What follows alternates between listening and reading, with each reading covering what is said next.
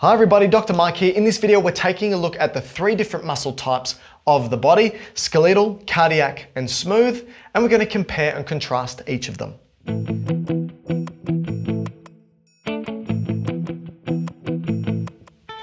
Importantly, we need to begin by talking about what muscle tissue is. It's one of the four tissues of the body. We've got epithelial, we've got nervous, we've got connective, and we've got muscle tissue. And the job of muscle tissue is to perform mechanical work. It allows for us to move, whether it's to move our body consciously, whether it's to move the blood into and out of the heart, or whether it's to move various substances through our digestive tract, our renal system, or our reproductive tract. All of this occurs because of muscles, and muscles are excitable tissue. This is really important for students to understand. Excitable tissue. There's only a couple of different excitable tissue types in the body. You've got nervous tissue, endocrine tissue, and muscle tissue. Now, a tissue being excitable means it has the capacity to do something. It can be excited, like me. It can do nothing, but when it's excited, something happens. So nervous tissue, when nothing's happening, it doesn't fire any signals off, but it can be excited to send what we call an action potential, a signal for communication. The endocrine system, when these cells aren't doing anything, nothing's happening, but they can be excited to do something, which is to release hormones into the bloodstream.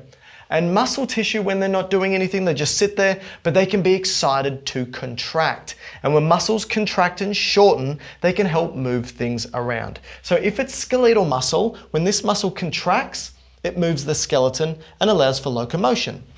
When cardiac muscle contracts, it decreases the volume of these little cavities inside the heart known as atria and ventricles and pushes blood around the body. And the smooth muscle that lines the inside hollow organs of our digestive tract, our renal tract, and our reproductive tract, and also our blood vessels, when they contract, they help push substances through the body. So that's really important for you to understand. Let's first begin with skeletal muscle. Skeletal muscle is muscle that's attached to our skeleton, and generally speaking, these muscles cross joints. For example, I've drawn up the biceps brachii. It crosses both the shoulder joint and the elbow joint. And when you excite skeletal muscle to contract, it will shorten. And if it shortens and it shortens across joints, those joints move. So contract biceps brachii, I get elbow flexion. I contract biceps brachii, I get shoulder flexion.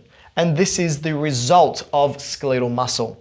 Now, all skeletal muscle contracts consciously. We must write that down. So it is conscious, let's say voluntary is a better one. It's voluntary movement. Voluntary movement. Now compare that to something like cardiac, right? Do you consciously tell your heart to contract? No, thank God we don't, because imagine how much mental time and energy it would take to constantly tell our heart to beat once every second. It would be horrible. So cardiac muscle is involuntary. And like I said, you should be grateful for that. Smooth muscle, this is going to be the muscle that lines the inside of our hollow organs. Like I said, our digestive tract, so our esophagus, our stomach, our small, large intestines, all the way through, and our urinary tract, so our ureters, our bladder, our urethra, and our reproductive tract, and our blood vessels as well. This is all smooth muscle. Again, you don't tell this muscle to contract. So it contracts involuntarily. I'll just write involuntary like I did for the other one. So only one is voluntary contraction, that's skeletal muscle. I want you to think about what these cells look like under a microscope because it tells you a lot about their function. So if I were to draw up skeletal muscle and see what it looks like under a microscope, what you'll find for skeletal muscle is number one, it's shaped like a cylinder. Compare that to cardiac muscle. If I were to compare cardiac muscle under a microscope, what you'll find is that it's branched. And then if I were to compare that to smooth muscle under a microscope, it has this shape to it, like a spindle shape, like an eye. All right, so that's the first thing. That's how they look under the microscope, quite different. Their nuclei. we must talk about their nuclei because it's very important, particularly for skeletal muscle. Now, the nuclei we know houses DNA. And if we look at skeletal muscle, you're actually going to find that it is multi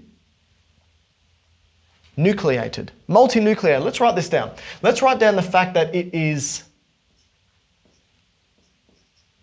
cylinder shaped. Let's write down the fact that cardiac is branched.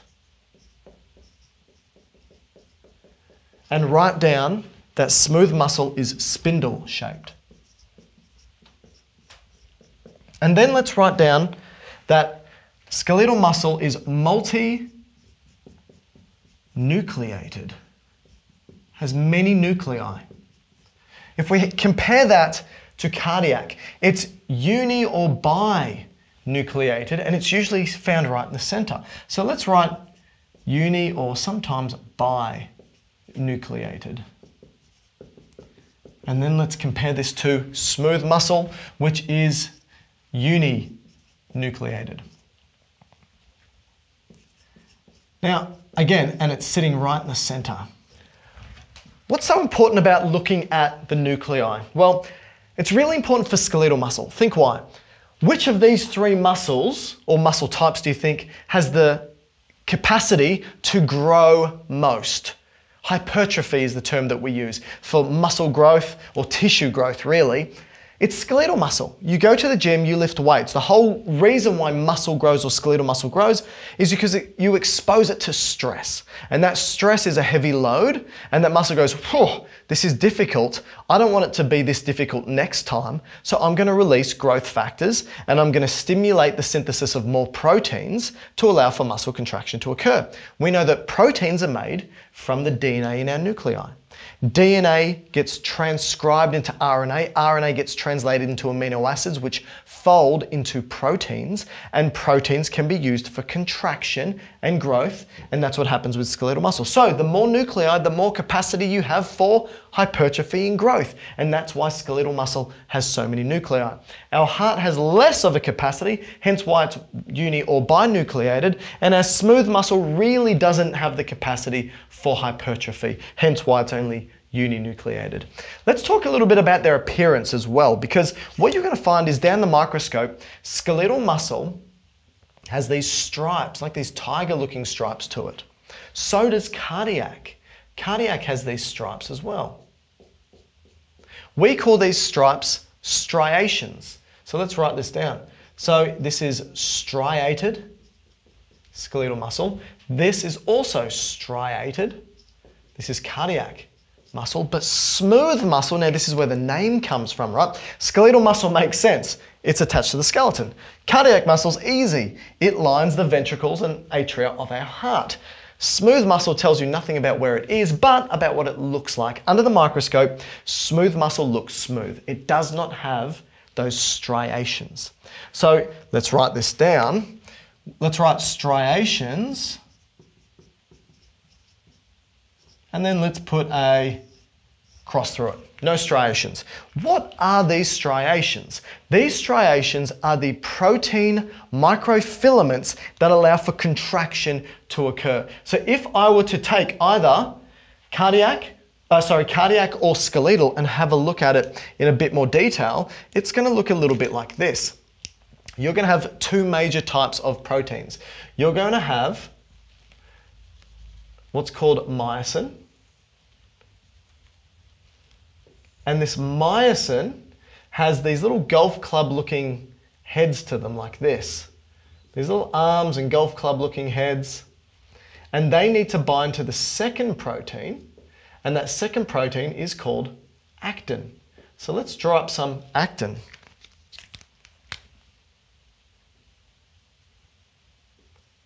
So here's some actin. Now, we're going to have these things called Z discs over here.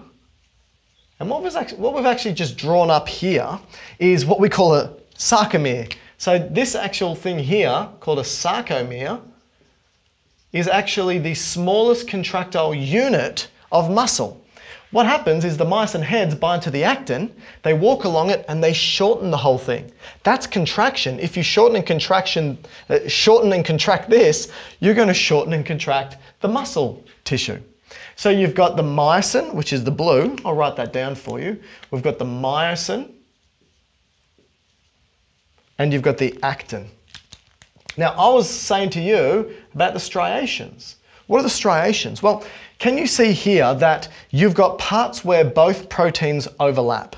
So you've got an area here, no overlap, here overlap, no overlap, overlap, no overlap. When you look at that under a microscope, you get stripes. The areas of overlap look darker and they're the striations, which tells you that in both skeletal muscle and cardiac muscle, actin and myosin are arranged in this fashion for contraction to occur. But when we look at smooth muscle, it's not arranged in this fashion. In, and the reason why is this because they're arranged in series and parallel, right? So basically, take this sarcomere and go boom, boom, boom, boom, and then go boom, boom, boom, boom, and add them in series and parallel. So they're all in the same direction. So that when they contract, the whole thing shortens, which means when skeletal muscle contracts, the whole thing shortens. When cardiac muscle contracts, the whole thing shortens. But the difference here with smooth muscle is that they're not arranged in series and parallel. They're arranged in what seems to be this mishmash different shape. And if it's arranged in this mishmash shape, you don't get these pattern striations. And why would we want our smooth muscle to be arranged in a weird way? Because we don't just want contraction of our smooth muscle to go like that. We want contraction of our smooth muscle to go in many directions. Why? Well, because smooth muscle is not just straight, like skeletal muscle, where we want it to shorten like this and bend the joint, or cardiac muscle, where we want it to shorten and contract over a ventricle, we have smooth muscle lining a tube. And so if we've got a tube like this,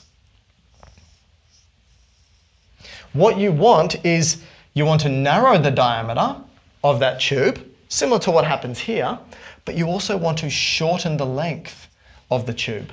And this is how things move through. If you were to get a tennis ball, put it into a stocking, and you were to squeeze that tennis ball through the stockings, what you're doing is you're narrowing the diameter, but you're also shortening the tube, and that's peristalsis. That's how things move through tubes. And it can only happen if the uni, uh, sorry, if the uh, smooth muscle cells have their contractile proteins arranged in what looks like a mishmash sort of random way. So hopefully that makes sense to you. So we've got voluntary for skeletal, involuntary for cardiac, involuntary for smooth. We've got multinucleated for skeletal, we've got uni or binucleated for cardiac, and we've got uninucleated for smooth. We've got uh, cylinder shaped for skeletal, branched for cardiac, and we've got spindle shaped for our smooth muscle. All right, what's the next thing we need to look at? We need to have a look at how are they connected to one another? So what you'll find here for the skeletal is that they're simply just sitting on top of each other like parallel, right? So you're gonna have, there's one there, there's one there, there's one there, right? When we look at cardiac, it's gonna be attached like this. Because it's branched, it wants to be attached to other ones like this.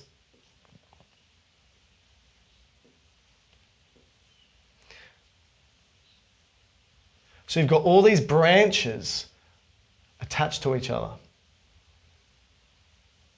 Now, why is this the case? This is important because, forget skeletal for a second, because, because it's arranged uh, in parallel, it's like that on purpose.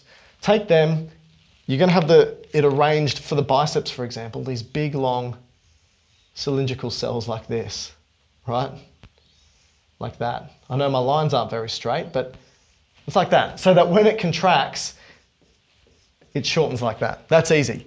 But the branching, because it moves around these ventricles and atria, they're actually connected through little gaps called gap junctions. You You've got these intercalated discs that hold each cell together, intercalated discs. They hold each one together, and then you've got these gap junctions. Let's write this down. You've got intercalated discs, intercalated discs, right, which hold things together. And then you've got gap junctions, which allow for communication. Talk to each other. Now, why do we want them to talk to each other? Here's the thing. You probably are aware that when a heart contracts, you don't just contract one part of the heart muscle, you contract all of the heart muscle. But the stimulus for contraction begins in one spot, the sinoatrial node. It begins at around about up here. An electrical signal gets sent in this fashion around the tissue. Now, the electrical signal needs to spread through the muscle. Now, it spreads through these gap junctions. So if you start an action potential or you know, sodium jumping into this cell, it gets to spread to this one and spreads to this one. So when that contracts, that contracts, and then that contracts. And it contracts in what we call a syncytium. It means that if you stimulate one muscle cell to contract, all the rest will contract. That's not the same here. You need a different motor neuron innervating each of these muscle cells. If I have a motor neuron coming down, it needs to innervate that one, it needs to innervate that one, it needs to innervate that one to tell it to contract. Not the case here. You only need to innervate this first one and it spreads the signal to the rest and they all act as one. When all muscle cells act as one, we call that a syncytium. Spelt that wrong. Sin, I shouldn't, shouldn't talk at the same time. Syncytium. Oh, I've probably spelled it wrong again, but anyway, the term is syncytium. I promise you that. It's just that my spelling's pretty poor. And then when we've got smooth muscle, they're going to be connected as well like this. So I've got a spindle, going to have another spindle, I'm going to have another spindle, I'm going to have another spindle, going to have another spindle, like that. And again, it's so they contract in multiple directions to help move things through. All right, so these are the similarities and differences between skeletal, cardiac, and smooth muscle, and I hope that it helps.